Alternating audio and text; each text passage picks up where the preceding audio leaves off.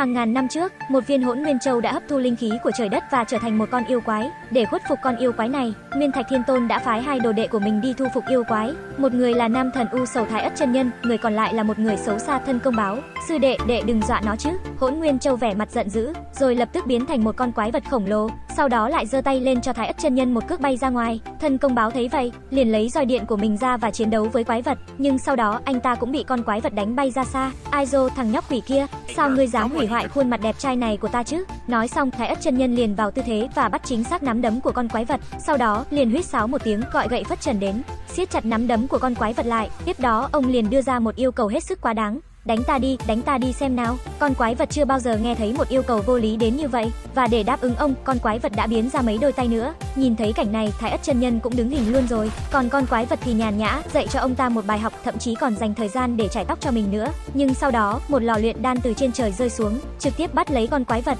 Thì ra là Nguyên Sử Thiên Tôn đã thi triển pháp thuật, nhốt quái vật vào lò luyện đan, sau đó luyện nó thành hai viên ngọc, một viên là linh châu mang tiên khí, còn một viên thì là ma hoàn độc ác. Thiên Tôn đã đặt chủ thiên kiếp lên đó, chuẩn bị 3 năm sau sẽ dẫn thiên lôi hạ phàm tiêu hủy ma hoàn. Thiên Tôn đặt hai viên ngọc vào trong bảo liên, sau đó giao cho Thái Ất chân nhân, để ông đem viên linh châu tiên khí giao cho Lý Tịch đầu thai thành con trai thứ ba của ông. Sau khi hoàn thành nhiệm vụ sẽ phong cho ông ngôi vị thập nhị kim tiên. Thấy sư phụ quá mức thiên vị sư huynh, trong lòng thân công báo vô cùng bất mãn, nhưng ngoài mặt ông ta lại không dám phản nàn bất cứ điều gì. Còn ở bên này, ân thập nương mang thai 3 năm mà vẫn không thể nào sinh được con trai, để thuận lợi cho việc sinh nở, Lý Tịnh mỗi ngày đều dẫn vợ đến miếu thắp nhang bái Phật cầu mong sớm ngày sinh được con trai, còn không sinh được thì bà đập nát cái miếu rách này. Động Kim Quang, núi Càn Nguyên Thái Ất chân nhân, không ngờ được là cú đập này lại đập trúng thần tiên, mà hôm nay vừa hay lại là ngày sinh của ân thập nương. Thái Ất chân nhân tính toán thời gian và chuẩn bị mở bảo liên, nhưng chính vào lúc này, quản gia đột nhiên xông vào, anh ta cầm ché rượu đặt bên cạnh tiên nhân, mặc dù ngoài mặt Thái Ất chân nhân ra vẻ từ chối, nhưng sau khi quản gia rời đi, ông liền cầm vò rượu lên uống cạn một hơi,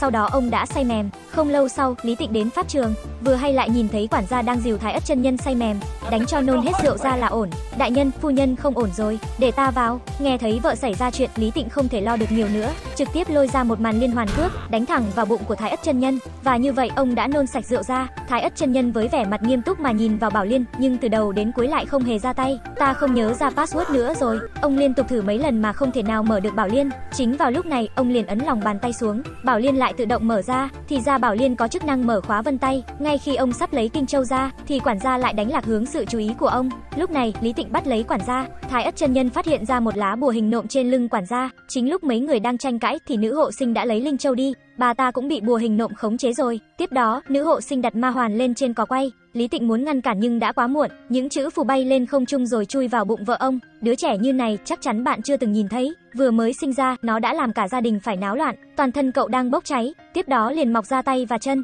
cậu bắn ra lửa, phá hủy mọi thứ xung quanh.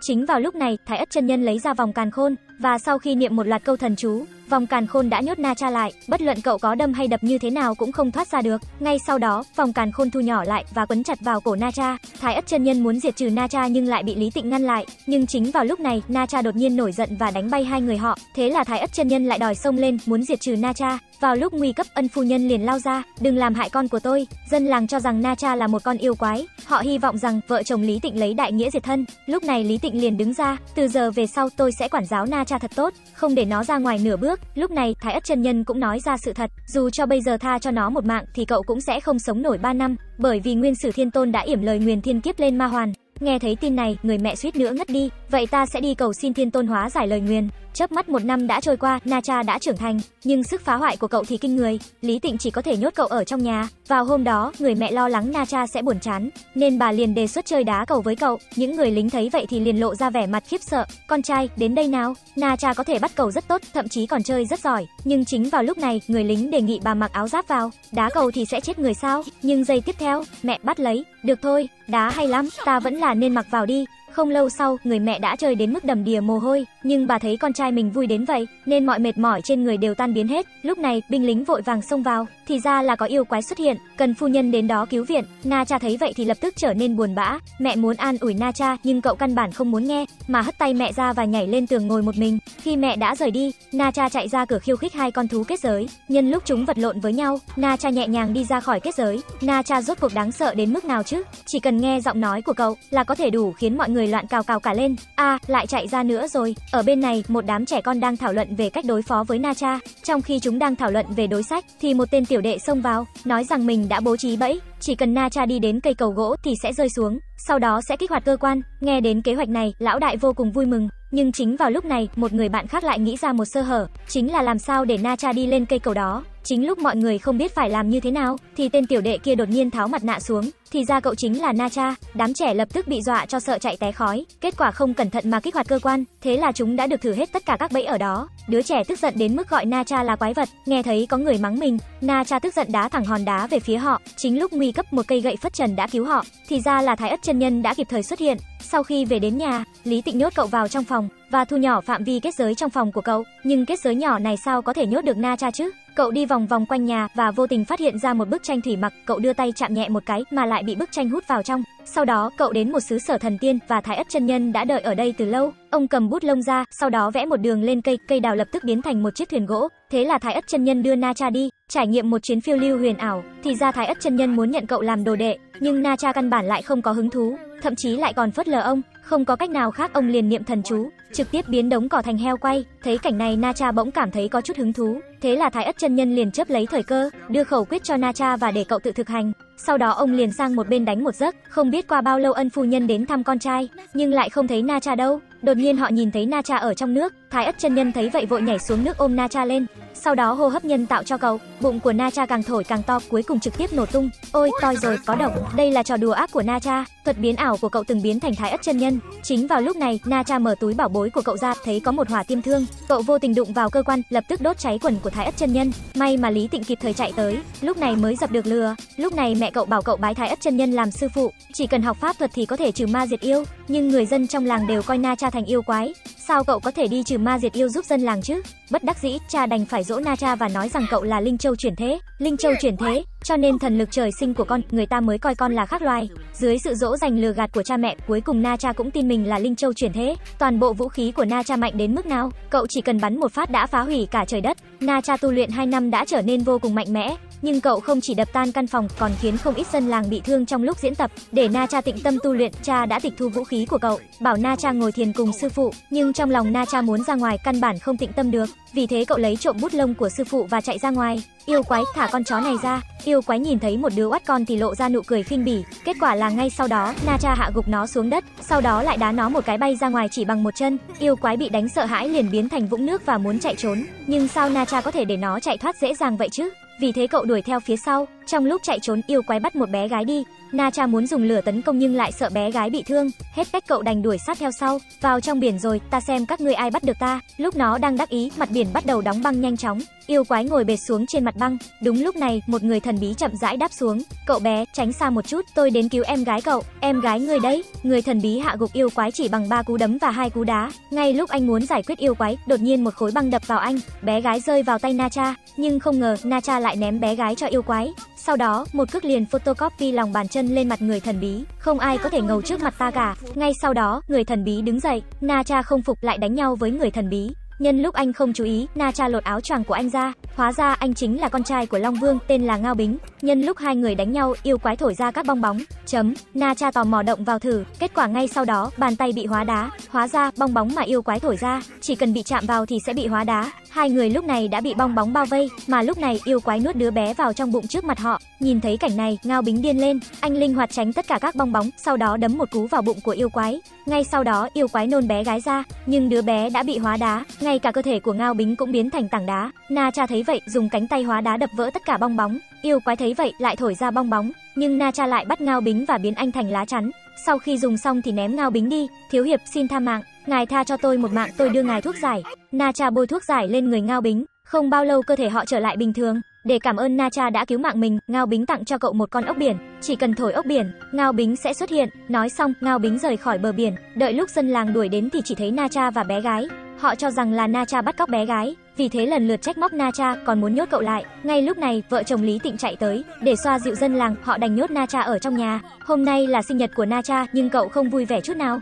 Ngay lúc này, thân công báo nói với Na Cha, cậu không phải Linh Châu mà là Ma Đồng. Na Cha biết được sự thật này không thể nào vui vẻ lên được. Thái Ất chân nhân tặng hỏa tiêm thương và giải lụa hỗn thiên lăng làm quà sinh nhật, còn tặng vật cưỡi của mình cho Na Cha. Na Cha giơ tay là chạm vào, chú lợn trắng biến thành bánh xe phong hỏa luân. Nhóc con chớp mắt đã 3 năm rồi, mẹ thật sự muốn con trưởng thành. Lúc này, trong mắt của Na Cha đã đong đầy nước mắt. Cha an ủi hai mẹ con và tặng cho Na Cha một bùa bình an. Ông nói với Na Cha, con đường sau này còn rất dài, đừng để ý suy nghĩ của người khác. Ta còn có ngày sau sao? Ta đã biết hết rồi. Sau đó, Na Cha niệm lời nguyền, vòng càn khôn giải trừ phong ấn. Na Cha mất đi ý thức và đánh nhau với cha. Thái Ất chân nhân điều khiển phất trần, trói chặt Na Cha, nhưng Na Cha được giải trừ phong ấn, pháp lực tăng mạnh. Thái Ất chân nhân không phải là đối thủ của cậu. Lý Tịnh bị đá bay lên không trung, Na Cha dùng hỗn thiên lăng trói ông lại. Cậu ném hỏa tiêm thương về phía cha mình, một sức mạnh thần bí chặn lại đòn chí mạng. Hóa ra là Ngao Bính ngăn chặn Na Cha. Anh cứu Lý Tịnh, hỗn thiên lăng hóa thành mảnh vụn rồi quay trở lại bên Na Cha.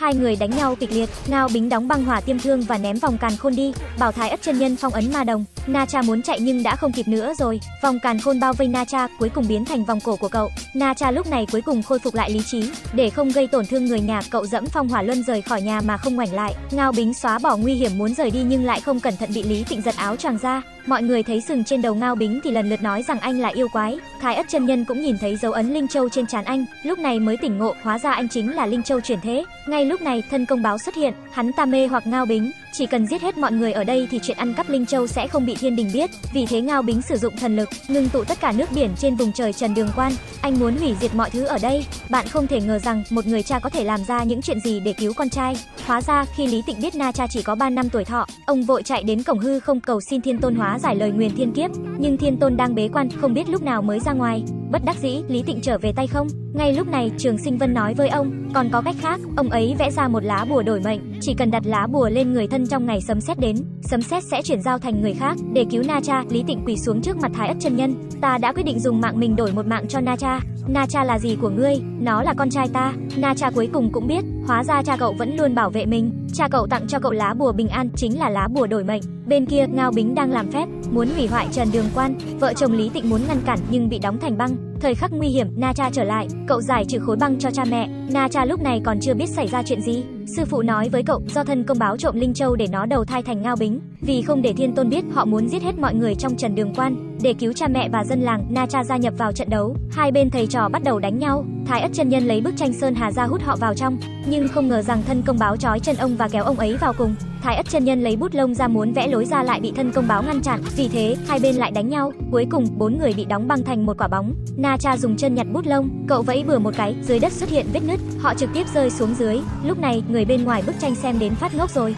Thời khắc nguy hiểm, Na Cha cuối cùng vẽ lối ra, mấy người lại trở về thế giới hiện thực. Ngao Bính bay lên không trung và biến một con rồng khổng lồ, hất tảng băng rơi xuống, thấy Trần Đường Quan đang bị đe dọa. Na Cha niệm lời nguyền, Nhật Nguyệt đồng sinh, tiên linh đồng nguyên. Na Cha giải phóng một nửa sức mạnh của ma đồng, sau đó xông lên tường băng trên trời, xông mạnh lên đỉnh. Ngao Bính thấy vậy, mạnh mẽ đẩy xuống. Na Cha dốc toàn bộ sức mạnh biến thành ba đầu sáu tay, đẩy mạnh tường băng trở lại, sau đó dẫn ba ngọn lửa ra, tường băng lập tức tan chảy. Ngao Bính muốn chạy trốn lại bị Hỗn Thiên Lăng cuốn chặt, một ngọn lửa xông tới, nhưng Na Cha không làm hại anh ấy. Vì sao không đâm? Ngươi là bạn duy nhất của ta. Na Cha trở lại mặt đất, mà lúc này bầu trời thay đổi, lời nguyền thiên kiếp rất nhanh sẽ đến. Sau khi Na Cha quay trở về, đã trói chặt cha mẹ mình lại. Mệnh của ta do ta định, không liên lụy đến người khác. Na Cha đốt cháy bùa đổi mệnh thành cho bụi. Hôm nay là sinh nhật con, không được khóc, cậu đã sẵn sàng cho cái chết rồi. Trước khi từ biệt, Na Cha quỳ xuống trước mặt cha mẹ cảm ơn công nuôi dưỡng 3 năm của họ. Sau đó, Na Cha bị hút vào bầu trời, xâm xét giáng xuống cơ thể cậu. Đột nhiên, một ánh sáng lóe qua, Ngao Bính cũng chui vào trong sấm sét. Ngươi ngốc à? Không ngốc ai là bạn của ngươi? Hai người nắm chặt tay nhau, mà đồng và linh châu trong cơ thể họ lại nảy ra phản ứng, hấp thụ tất cả năng lượng của sấm sét, sau đó lại đẩy sấm sét trở về. Hai nguồn sức mạnh xảy ra đụng chạm và nổ tung trên bầu trời. Không biết thêm ta vào có trụ nổi không? Thái ất chân nhân bay lên không trung, mở bảo liên ra, sau đó đựng hai người vào trong. Sau một loạt ánh sáng trắng, mọi thứ đều trở lại bình yên. Cha mẹ tìm kiếm Na Cha trong đống đổ nát. Lúc này, mẹ cậu tìm thấy Bảo Liên cầu vồng. Bảo Liên chậm rãi mở ra, lại xuất hiện linh hồn của Na Cha và Ngao Bính. Hóa ra, sấm sét phá hủy cơ thể của họ nhưng Bảo Liên bảo vệ linh hồn họ, dọa chết mẹ rồi. Cuối cùng, Na Cha bảo vệ Trần Đường Quan, còn Bách Tính cũng chấp nhận Na Cha. Nói về Ngao Bính, vì sao lúc đầu lại phá hủy Trần Đường Quan đây? Vì sao sau đó lại xông vào cùng Na Cha đẩy lùi thiên kiếp? Câu chuyện này phải bắt đầu từ Đông Hải Long Cung. Bạn đã từng thấy Long Cung nào như này chưa? Không những không có nước mà xung quanh đều là nham thạch. Một ngàn năm nay, tộc rồng bị bố trí ở nơi sâu nhất trong biển cả, phụ trách canh chừng yêu quái của nhân gian, nhưng họ cũng khát vọng thành thần tiên, để có thể lên thiên giới. Long Vương bảo thân công báo lấy trộm linh châu, sau đó ông nhổ ra một quả trứng rồng, Ngay sau đó, Linh Châu lập tức bao bọc trứng rồng. Đây là con trai ta, Ngao Bính. Chớp mắt 3 năm trôi qua, Ngao Bính đã trưởng thành. Lần đầu tiên ra biển đã gặp phải Na Cha. Họ không đánh không quen biết nhau, còn trở thành bạn tốt duy nhất của nhau. Nhưng sư phụ lại nói với anh, Na Cha là ma đồng. Khi thiên kiếp đến, ma đồng sẽ đại khai sát giới. Đến lúc đó, chỉ cần giết được Na Cha thì có thể lập công cho thiên đình, bước lên thiên giới. Long cung có thể thoát khỏi luyện ngục đáy biển hay không thì phải dựa vào Ngao Bính. Nhưng Ngao Bính tốt bụng căn bản không tin Na Cha sẽ trở thành ma đồng. Nhưng lệnh cha khó cãi, anh đành đồng ý. Ngay trước khi họ xuất phát, Long Vương nhổ vảy ngược của mình xuống. Sau đó, tất cả tộc rồng cũng nhổ vảy ngược xuống, làm áo giáp vạn rồng cho Ngao Bính. Áo giáp vạn rồng này không thể phá hủy. Ngao Bính mặc áo giáp vạn rồng và có linh châu chuyển thế, nhưng cuối cùng vẫn không thể thay đổi vận mệnh của tộc rồng. Anh còn bị Na Cha dạy dỗ một trận. Ta là tộc yêu, thời khắc sinh ra, vận mệnh đã định rồi. Cái rắm, nếu vận mệnh không công bằng thì hãy đấu với nó tới cùng. Bộ phim đến đây là kết thúc. Cảm ơn các bạn đã theo dõi video. Xin chào và hẹn gặp lại các bạn tại những video tiếp theo trên kênh.